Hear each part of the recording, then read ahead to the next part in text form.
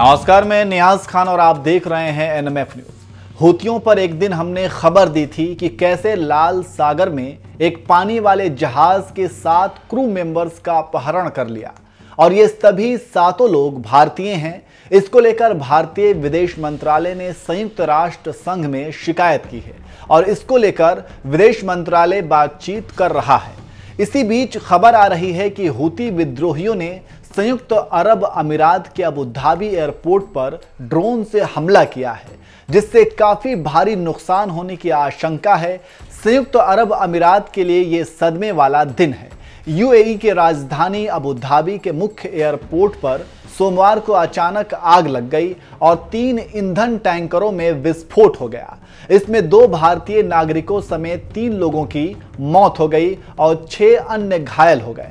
Abu Dhabi police की माने तो हमले के लिए ड्रोन इस्तेमाल किया गया था। यह यूएई के लक्ष्यों के खिलाफ एक बेहद असामान्य हमला प्रतीत होता है।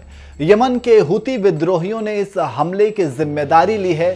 संयुक्त अरब अमीरात की सरकारी डब्ल्यूएएम समाचार एजेंसी की माने तो शुरुआती जाँच के संकेत बताते हैं कि वे छोटी उड़ने वाली वस्तुएँ थीं, जैसे ड्रोन होता है। ये अबुधाबी के दोनों क्षेत्रों में गिरे और विस्फोट हो गया।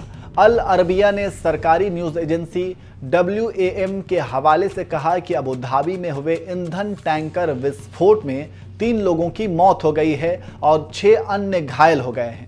आपको बताते चले कि ईरान सऊदी अरब में दुश्मनी है और ईरान हुती विद्रोहियों की मदद करता है जो यमन के रहने वाले हैं।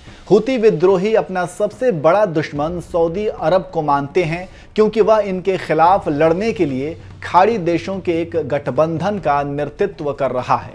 यूएई भी यमन के गृह युद्ध में हूतियों के खिलाफ सऊदी अरब के साथ है। यह घटनाक्रम ऐसे समय में हुआ है जब यमन में सऊदी गठबंधन की ओर से सैन्य अभियान काफ़ी तेज है। भारत ने यह भी कहा है कि यमन में पूरी तरह से सीज फायर लागू किया जाए। उसके बाद एक राजनीतिक प्रक्रिया को शुरू किया जाए, जिसमें महिलाओं को भी अहम भूमिका दी जाए। जानकारी देते चले कि यमन में साल 2011 से गृह युद्ध चल रहा है और इसका खामियाजा यमन के सटे पड़ोसी उठा रहे हैं। तो आप समझ सकते हैं कि संयुक्त अरब अमीरात में क्या हुआ है। अब देखना होगा कि आगे गठबंधन सेना हूती विद्रोहियों के बारे में क्या करती है?